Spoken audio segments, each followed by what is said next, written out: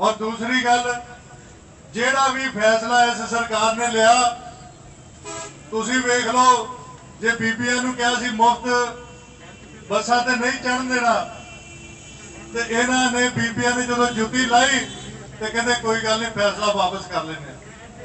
ਫਿਰ ਇਹਨਾਂ ਨੇ ਫੈਸਲਾ ਲਿਆ ਕਿ ਉਹ ਮੋਟਰਸਾਈਕਲ ਵਾਲੀਆਂ ਰੇਹੜੀਆਂ ਬੈਨ ਕਰ ਦੇਣੀਆਂ।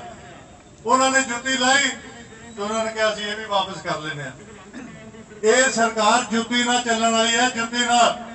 ਇਹਨਾਂ ਨੇ ਕੋਈ ਅਕਲ ਨਾਲ ਨਹੀਂ ਚੱਲਣਾ।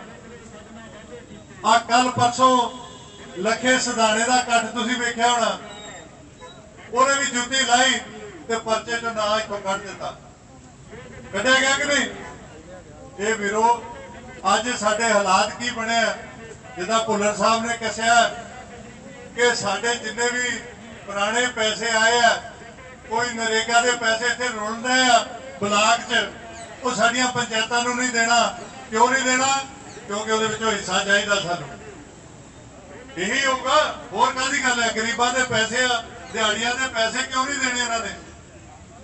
ਹਰ ਪੰਚਾਇਤ ਨੂੰ, ਮੇਰਾ ਖਿਆਲ ਹੈ ਗਿੱਲ ਸਾਹਿਬ, ਤੁਹਾਡੇ ਵੀ, ਅਗਨੀ ਉਤਰੀ ਸਾਹਿਬ, ਤੁਹਾਡੇ ਵੀ ਇਹੀ ਹਾਲ ਹੋਣਾ ਕਿ ਸਾਰੇ ਪੈਸੇ ਰੋਕ ਦਿਓ ਜੀ, ਕਿ ਜਦ ਤੱਕ ਅਸੀਂ ਨਹੀਂ ਕਹਿੰਦੇ।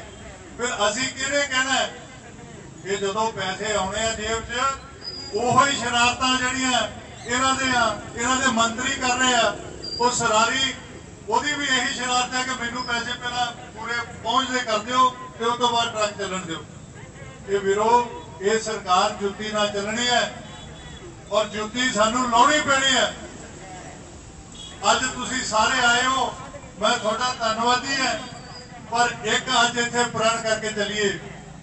ਕਿ ਜਿੱਥੇ ਕੋਈ ਵੀ ਲੋੜ ਪੈ ਜੇ, ਭਾਵੇਂ ਉਹ ਸਾਡੇ ਕਿਸੇ ਸਰਪੰਚ ਤੇ ਨਜਾਇਜ਼ ਇਨਕੁਆਇਰੀ ਕਰਕੇ ਕੋਈ ਪਰਚਾ ਹੋਵੇ, ਭਾਵੇਂ ਉਹ ਸਾਡੇ ਕਿਸੇ ਹੋਰ, ਸਾਡੇ ਸਾਥੀ ਦੇ ਉੱਤੇ ਕੋਈ ਧੱਕੇਸ਼ਾਹੀ ਹੁੰਦੀ ਹੋਵੇ, ਤੇ ਮੈਂ ਇੱਕ ਹੀ ਗੱਲ ਕਹਿਣਾ ਕਿ ਆਪਾਂ ਜੇ ਸਾਰੇ ਇਕੱਠੇ ਹੋ ਕੇ ਇਦਾਂ ਪੈ ਗਏ, ਤੇ ਇੱਕ ਅੱਧੇ ਮਹੀਨੇ ਦੇ ਵਿੱਚ ਆਮ ਆਦਮੀ ਪਾਰਟੀ ਦਾ ਜਿਹੜਾ ਕੋਈ ਰਹਿੰਦਾ ਖੁੰਦਾ ਭੂਤ ਹੈ ਵੀ ਸਵਾਰ ਹੋਇਆ, ਲੱਥ ਜਾਣਾ ਸਾਰਾ। ਲੋਕ ਇਹਨਾਂ ਦੇ ਛਤਰ ਮਾਰਨ ਨੂੰ ਫਿਰਦੇ ਆ। ਇਹਨਾਂ ਦਾ ਭੁਲੇਖਾ ਹੈ ਕਿ ਲੋਕ ਸਾਡੇ ਮਗਰ ਆਉਣਗੇ, ਕਿਸੇ ਨੇ ਨਹੀਂ ਜੀ ਆਉਣਾ।